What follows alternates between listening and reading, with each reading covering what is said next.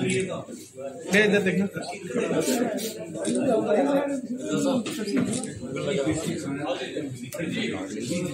पहले Pahari tribe ST forum Jammu and Kashmir की तरफ़ से आप सब मीडिया साथियों का बहुत बहुत शुक्रिया कि आप अपना कीमती वक्त निकाल के हमारे पास आए। मेरे साथ बैठे हुए हैं, मैं खुद हूँ advocate Ehsan Mirza, Pahari tribe ST forum का एग्जीक्यूटिव मेंबर मेरे साथ हैं एडवोकेट गुरुदेव सिंह ठाकुर साहब। ये भी पहाड़ी ट्राइब एसटी फोरम के एग्जीक्यूटिव मेंबर हैं और साथ हैं मनीर मिर्ज़ा साहब। ये भी पहाड़ी ट्राइब एसटी फोरम के एग्जीक्यूटिव मेंबर हैं और साथ नजरुल क्यू मिर्ज़ा साहब। ये भी पहाड़ी ट्राइब एसटी फोरम के एग्जीक्यूटिव मेंबर हैं। आज जो सब मीडिया कर्मी हैं, आपको यहाँ जो बुलाने का जो मकसद है, वो ये है कि जैसे कि आप सब लोग जानते हैं कि पहाड़ी कबीले की एक 40 साल की एक मांग थी कि उनको शेड्यूल ट्राइब का जो है वो दर्जा दिया जाए।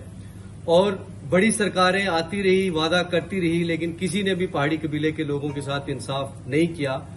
और आप सबको पता है कि माननीय प्रधानमंत्री नरेंद्र भाई मोदी जी, माननीय होम मिनिस्टर अमित शाह जी और जम्मू कश्मीर की भाजपा की जो सरकार है, इनकी कोशिशों और काविशों से जो है पहाड़ी कबीले को जो है, वो शेड्यूल ट्राइब का दर्जा मिला है।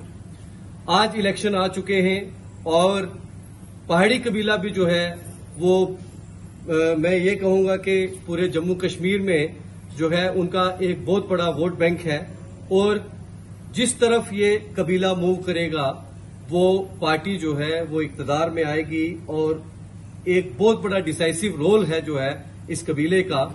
और काफ़ी दिनों से जो है हम जगह जगह पे लोगों से जो है मुलाकातें हुई उनसे डेलीब्रेशन हुई और फाइनली उन्होंने कहा कि हमने जो वादा किया था अल जजाउल एहसान इल एहसान मतलब के एहसान का बदला जो है वो एहसान से चुकाया जाएगा। भारतीय जनता पार्टी ने हम पे एहसान किया है, पहाड़ी कबीले के लाखों लोगों पे एहसान किया है। उन्होंने जो जो शेड्यूल ट्राइब का जो दर्जा दिया है हमें।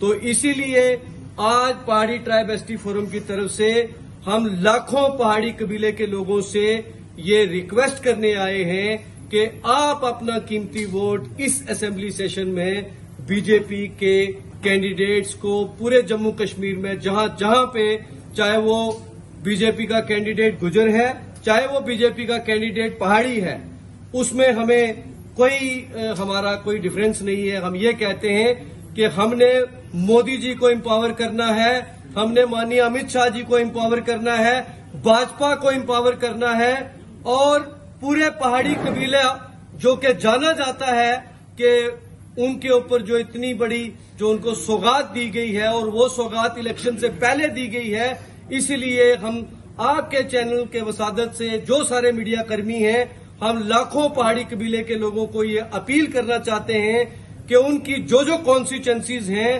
पहाड़ी कबीला मेजोरिटी में जो अपना वोट है, वो भाजपा को कास्ट करे, अपना जो वोट है वो सही तरीके से इस्तेमाल करे ताकि जो दिल्ली में बैठी हुई सरकार है उनको ये लगे कि ये जो कौम पहाड़ी कौम है ये एहसान फरामोश नहीं है। सर लेकिन लोकसभा के चुनावों में ये क्यों देखने को मिला कि पहाड़ी अलग अलग बिखर क्यों गए देखिए आपको पता है कि हमारा ऑलरेडी पहाड़ी कबीले का ये था कि भाजपा जब अपना कैंडिडेट उतारेगी कहीं तो पहाड़ी कबीला उसके साथ खड़ा रहेगा। क्योंकि उस वक्त भाजपा ने अपना कैंडिडेट नहीं उतारा था तो आज वो वक्त आ गया है, हर तरफ़ भाजपा का कैंडिडेट है, हर कॉन्स्टिट्यूंसी में भाजपा का कैंडिडेट है। इस बार हमें उम्मीद है कि हमारा जो मेजोरिटी ऑफ़ द वोट मैं ये कहूँगा कि हमारा सारा वोट जो है मैक्सिमम वोट जो है, वो भाजपा को मिलेगा अमिता साहब ने कहा कि पहाड़ी ट्राइब एसटी फोरम ने पिछले तीन साल में जो पहाड़ी कबीले की मूवमेंट तीस साल से चली आ रही थी, उसको पाए तकमील तक पहुँचाया। और पहाड़ी ट्राइब एसटी फोरम और जितनी भी जम्मू कश्मीर में पहाड़ी कबीले की फोरम्स थी, उन्होंने सेंटर में मोदी जी, अमित शाह जी और सेंटर की सरकार को यहाँ तक पहुँचाया कि उन्होंने पहाड़ी कबीले को शेड्यूल टाइप स्टेटस दिया। और आपने देखा होगा कि अभी जो पीछे नीट का एग्ज़ाम हुआ है, उसमें पहाड़ी कबीले के 106 बच्चे एमबीबीएस में आए। इसके अलावा और भी बहुत से बेनिफिट्स हैं जो पहाड़ी कबीले के लोगों को आने वाले वक्त में होने वाले हैं। लेकिन अभी जो सबसे बड़ा हमारा मुद्दा है वो है असेंबली इलेक्शंस जम्मू कश्मीर में असेंबली इलेक्शंस हो रहे हैं। 18 को पहला फ़ेज़ है 25 को है, उसके बाद फ़र्स्ट को है। हमारा जो आज प्रेस कॉन्फ्रेंस करने का एक ही मेन मकसद है कि पहाड़ी कबीले के लोगों को याद दिलाया जाए कि 30-35 साल से जो हमारी एक मूवमेंट चली आ रही थी उसको माननीय मोदी जी ने लाल किले से कहा था कि हम पहाड़ी कबीले के साथ इंसाफ करेंगे। उसके बाद माननीय अमित शाह जी ने रजौरी में लाखों के जलसों में, जलसे में कहा था कि हम अपना वादा पूरा करेंगे। लेकिन साथ साथ में जो ऑलरेडी जम्मू कश्मीर में एसटी हैं, चाहे वो गुजर बकरवाल हैं, गद्दी सिटी शीना, उनके हक के साथ भी नहीं छेड़ा जाएगा। उनकी थाली से किसी को नहीं दिया जाएगा। और ये बहुत बड़ी बात है। उन पार्टियों ने जिन्होंने इसी पे ही सियासत की। एक तरफ़ पहाड़ी कबीले को उनका हक नहीं दिया दूसरी तरफ़ हमारे दूसरे साथियों को दे के वो तीस साल यही पॉलिटिक्स करते रहे। हम भारतीय जनता पार्टी का इसलिए भी शुक्रिया अदा करते हैं कि उन्होंने इस खाई को कम किया है। आज हम इस मंच से बैठ के पहाड़ी कबीले के लोगों से ये अपील करेंगे कि वो जो हमारा नौजवान आज 18 साल का होकर पहली बार वोट डालने जा रहा है और वो बुज़ुर्ग जो है नब्बे साल का है, या अस्सी साल का, या सौ साल का है, हम एक तरफा होकर पहाड़ी कबीला भाजपा की सपोर्ट करे, बीजेपी के कमल के फूल का बटन दबाए, क्योंकि वोट से ही सरकारें बनती हैं और फिर सरकारें कौमों के लिए फैसला करती हैं।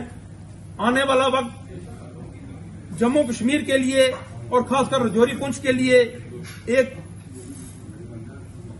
मैं कहूँगा कि मील का पत्थर साबित होने वाला है कि हम किस तरफ़ वोट करते हैं, किसकी सरकार बनेगी। अगर भाजपा की सरकार बनती है तो उसमें रजौरी पुंछ का बहुत बड़ा रोल होने जा रहा है, पहाड़ी कबीले का बहुत बड़ा रोल होने जा रहा है। इसके बाद हमें स्टेटहुड चाहिए। इसके बाद हमारे और बहुत सारे मसाइल हैं, लेकिन वो तभी हल होंगे जब यहाँ डबल इंजन की सरकार चलेगी।